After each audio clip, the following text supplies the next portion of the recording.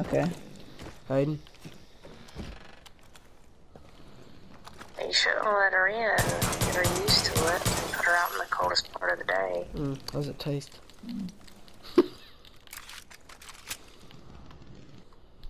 Okay. Shadows laid on the rug in front of the Christmas tree.